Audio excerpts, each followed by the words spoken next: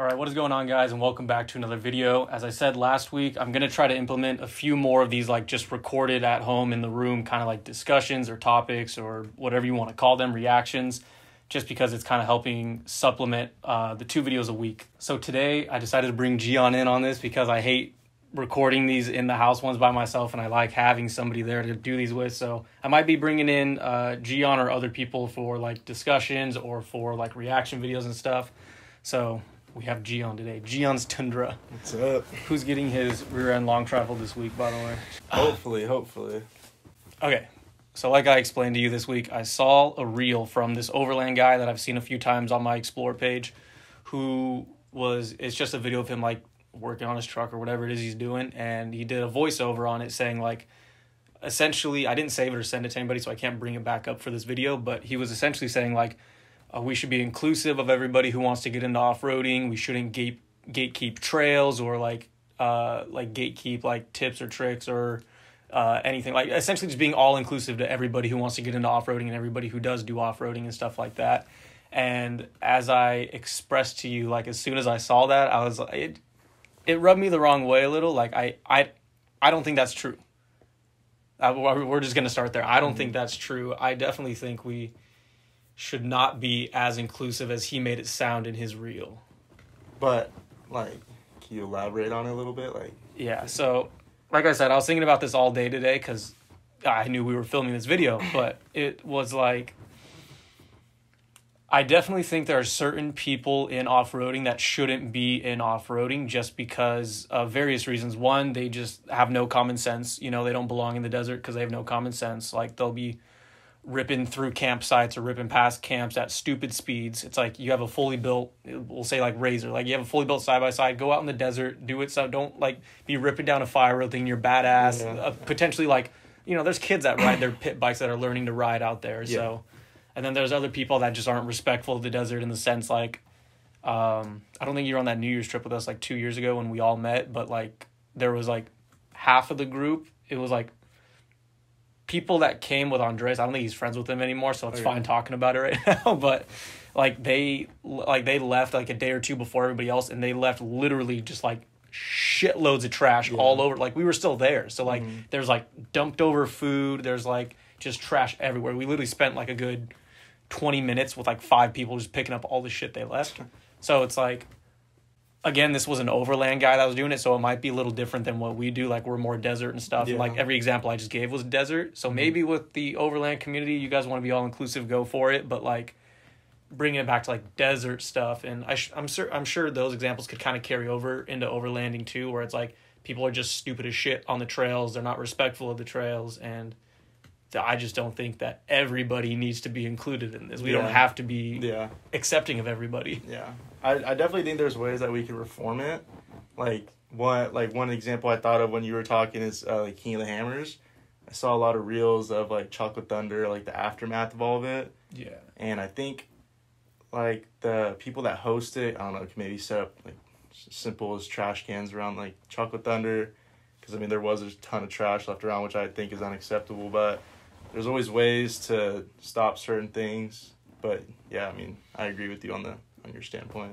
I think when it comes to like the chocolate thunder kind of stuff, it's it's from stuff I've seen, and I'm sure it's not hundred percent the case, but it's always the people that aren't like really into off road that are yeah. ones that are ruining. You know, it's like the people that are really into off road. Like Chocolate Thunder is a big event that you want to bring even people that don't off road out with you yeah. just to party and have a good time. Mm-hmm. So I mm-hmm. feel like it's those people that get brought out by the actual off-roaders that are the ones like doing that kind of stuff that you're talking about mm-hmm. which i think goes back to the main topic at hand of like not everybody should be so accepted when it comes to off-roading you know yeah. and to switch up gears a little bit and to like maybe point out like a certain like demographic of off-roaders but like you were saying you're like i could go off about side by sides and yeah. razor people you know mm-hmm. like i think that's another example of why we shouldn't be so accepting because I've had this talk with other people too, where it's like razors and Can-Ams are so easily accessible and so easy to buy for like how wild they are power wise and suspension wise. Mm-hmm. So literally just anybody, if you're not into off roading, could just go to uh, what's like Bert's Mega Mall or something and buy one and then just go out to the desert with no knowledge of how to off road or like the common sense of it and just rip around with way too much power and way too much suspension, you know? Mm. You know what's funny is I actually saw a TikTok today. Is this guy has like this whole lot of Can-Ams. You can rent them for 250 bucks a day. Oh, yeah. So, I mean, even if, like, just how you said, they're really accessible, you don't even have to buy them. You can just rent one for the day and just go mess around in the desert. I think there's there's just something about somebody who had to like build an off-road vehicle that kind of like slows down the process of getting you into the desert so you can kind of like learn all that stuff Mm-hmm. that then makes you accepted or like acceptable in the off-road community if that makes sense you know Yeah. like you look at somebody who just goes to the store and buys a can-am and goes out versus somebody that took like a year or two building their truck and like easing into the desert you know Yeah. i think you see two different like personalities Mhm. in that Not only the trash, uh, to continue on side by sides, it's uh, also the trails.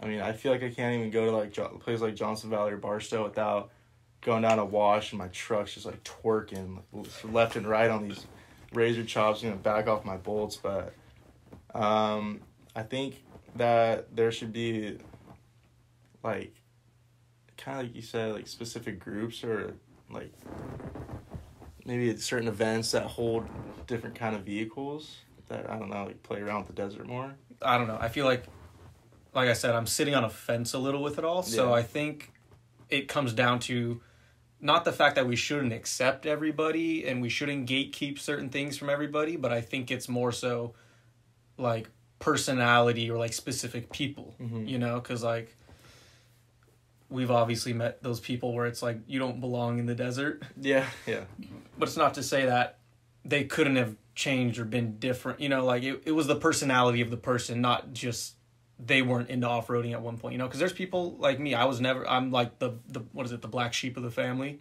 where it's like nobody in my family was into off roading. I never grew up going to the desert. hmm None of that stuff. I got into it maybe the age of seventeen, like Yeah, my my senior year of high school. So it's like there's people that can learn and get into it and like be accepted into it from like uh like scratch you know never having been to the desert not growing up that way but i think it comes down to like the personality of the person and kind of like how they how they come into the desert you know yeah.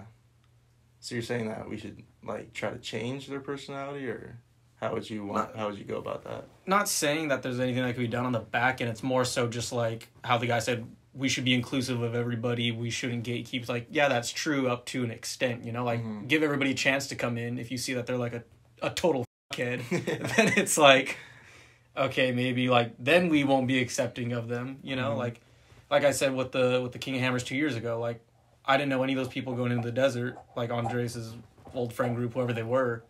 So I gave them the benefit of the doubt that they were cool and everything, that they could have a chill time in the desert, and then they literally just they got drunk. They went on a night run, got stuck for a few hours. I don't know if that was his friend group or somebody else that was there, but like examples, you know. Yeah, They got drunk, went on a night run, uh, got stuck. They were stuck out there for hours. Had to pull more people out of our camp to go help them for those hours on New Year's night, and then leave trash all over our camp and then dip on us and don't even pick up their own shit. You know. Mm-hmm. I don't even know if they brought like anything to the camp like firewood. I don't know if they offered us drinks. I don't know if they offered us food. Like they just showed up, trashed and dipped. So it's like How would you stop those kind of people from getting in the desert, though? Because I mean, that I think the desert is one of the hardest places to keep people out of, just because it's. I mean, what? It's dirt and rocks and cactuses out there, cacti.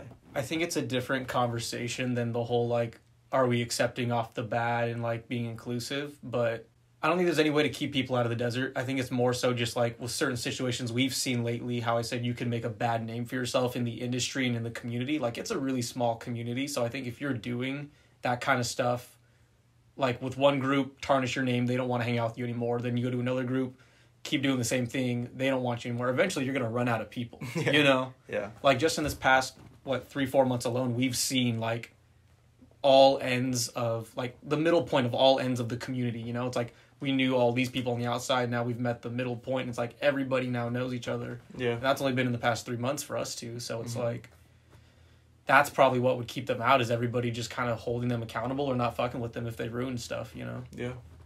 but i don't know if there's a, like you said it's hard to keep people out of the desert Yeah. like, Because I think King like I, I don't keep going back to King of the Hammers, but that's all that's like all I can think of when I think of this conversation is uh it's like with social media, it's like such like a blown up thing. It does, Yeah. it's like it's almost like uh like supercross. Like people that don't even know about dirt bikes are like starting to go there, starting to like give it a bad reputation. it's like a whole different thing now. Um I think it's just hard. I think the events are just getting too big. I think the community is starting to expand a little too much to where people that like don't have any idea want to like get a taste of it or something or like experience it for themselves. Yeah, definitely. And I think that's kind of where my like distaste for that reel that I saw kind of came from cuz like I said it is a really small community, which is not Oh, that's the other point I wanted to touch on. Thanks. No. So it's like the community's so small to where like you have sort of like the die hard like really cool down to earth people doing it, you know, and like like I said if people ruin their name, they kind of vanish and nobody really talks to them anymore and they're not a problem. Yeah. But I think if we're so inclusive and so accepting and don't gatekeep to the extent that like the community is right now, like we're not really gatekeeping, but we're not like publicizing it to everybody. You know, mm-hmm. like come join us, everybody get in on this. Cause if we do that, then it turns into like the car scene, you know, where you have like diehard like car people that are down for it, and then you got like the a holes that are swinging in intersections, Yeah. like thinking they're hard shit because they went out and bought a scat pack, kind of like you know you buy a side by side. It's like way too much performance for somebody to just go out and buy, Yeah. and now they're in an intersection swinging it, thinking they're doing hot shit when they could do like half a donut and then spin out Yeah. and lose control. It's like You know what's crazy is that I think the pre-runner community is expanding so much. Just I've seen a couple pre-runners in those takeovers like joining. I think they're starting to combine a little bit. There's one guy. He's a he's more of a JDM style person, but he's got like fuck you money. It's whatever he does whatever he wants. And uh, when picked up like a built Ranger, I'm pretty sure it's beamed. He's just swinging it around town, and it's pretty. The comment section was definitely interesting. Yeah. So it's that that was like the main thread of like why I wouldn't want to be so inclusive and so accepting of everybody because it could easily turn into that, you know. Mhm. Like I don't know, I can't think of any examples so far. Like like you said maybe like Supercross and King Hammers where you're starting to see that kind of trickle in but it's not an event that could ruin the name, you know, like what can you really do at Supercross that affects all of us? Nothing, you know. Yeah. You get in a drunk fight, that doesn't affect the community though. That's just that one person hmm but yeah, no, it's I haven't seen that sort of trickle in yet where it's like there's outside people coming in and ruining it. I guess you could kind of say how they're starting to close down like certain dune areas. I don't know if that's due to trash and outside people coming in or if it's just land Mhm. management trying to take back parts of California, but Mhm. I think it, I think it does a little bit with both. yeah. because um, where we where we parked or camped in Johnson Valley, the guy doesn't allow anyone to camp on his ground, and that's like the whole right side of Johnson Valley. Mm. He ca- he came in uh, one morning. He came and read off my plate, read off my address, my name, and he was like, "If I like see like one ounce of trash here, I'm gonna fine you guys." He's like, "Since you guys are already like set up, I won't make you leave, but this is like a one time thing with me." And I think it's literally just because he doesn't want his like his land. Was that outside of Hammertown? Yeah. Okay. Um, yeah, he was the guy who came and like said, Hey, yo. Oh, hey, hey. We got we're going to get demonetized. but yeah, like people uh are like like spilling gear oil, like brake fluids all over the dirt. It kind of just messes everything up. So he said he told me that like he just wants everyone off of it, but it's hard like it's hard to get everyone out of there. But yeah. I think it just has to do with like the fact of people leaving their stuff there and just disrespecting what's his. I don't know if if you have anything else to talk about on this topic, go for it. But that's just kind of where I'm at with the whole distaste for that guy's reel, where it's like we should stop gatekeeping and be more accepting of everybody. Mhm. You know, that's kind of why I didn't really resonate with that reel and wasn't like agreeing with it because it's like I like what we have right now. I don't want it to blow up. Like the community's small enough right now to where you can know everybody, even like the big name people. You know, like like I said, these past three months have been wild for us. Yeah. So it's like I don't want it to blow up. One for the reason like it gets so big nobody really knows each other. You can't hold each other accountable. Two, I don't want other people ruining it. And three is just there's certain people I just don't want to I just don't want out there. You know, certain personality types, certain people I just don't want out there ruining it Mhm. for me personally, not just like everybody in the community and the land and government getting involved and stuff, but just for me, I don't. You know, that's how I broke my wrist. Just certain kinds of people out there that just have no Yeah, common um, sense. but you, one thing I would say is that you're coming off like kind of bold, because no, I don't mean that in a Put me in way, check. But if we don't allow like the growth of our community, community, there's gonna be a fall eventually. Yeah. Because I mean, like companies like LSK and Dirt King, all of them. If we are, if we're like, don't like come to the desert, like we don't want you, you're stupid. Yeah. Like those companies aren't gonna make money. Because I mean, sure, like there's Tacomas with like Dirt King upper control arms and Kings that just stroll around the streets, but they all want to be a part. Like everyone wants to be Yeah. a part of the same community, and that's gonna help us grow for the people that are actually like really into it.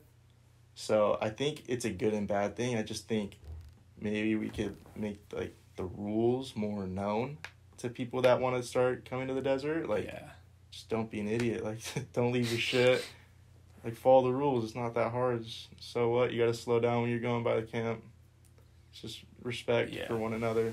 And don't get me wrong, I don't want to see growth. It's I no, don't get me wrong, I don't not want to Yeah, see yeah. growth, but it like I said, it comes down to like There's you could give a everybody a, bunch. chance, you know, like you give everybody a chance, but if somebody's like you see like they're just not really getting it, then it's like yeah. it's like okay, yeah, okay, dude, maybe it's time for you to find a different hobby, you know? Yeah. Yeah. Because like you said, yeah, there are, you know, there's younger kids like in high school that you know build their truck with the. there's the kids in high school that go around with like you know like the build I had the OEM replacement build and like they want to learn to start getting into it, which again is good. I think it's like when you start to take on building your own vehicle, you get that slow entry into it and you learn everything and you learn to respect it Mhm. versus the guys that go out and like you said somebody buys a fully linked ranger on OfferUp or facebook marketplace and now it's like they think oh i got this badass truck with all this power let me go fuck around and find out Yeah. so Exactly.